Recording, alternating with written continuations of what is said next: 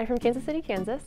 I went to Midland Adventist Academy. I was really into sports, so for volleyball, basketball tournaments, Midland would bring us up to Union, and I fell in love with the campus and knew I was going to come here. When I got to Union, I knew that I wanted to work with kids, and I was really excited for all of my teaching observations and getting experience in the classroom. After a year of being in the program and working at a daycare, I realized that this wasn't what God wanted me to do. I switched to theology, despite my crippling fear of public speaking, which has caused a lot of fear and doubt over the past couple of years. But God doesn't leave me there. He's given me experience after experience with professors and friends that have affirmed that this is what He wants me to do. So being here at Union College has definitely helped me find my life calling.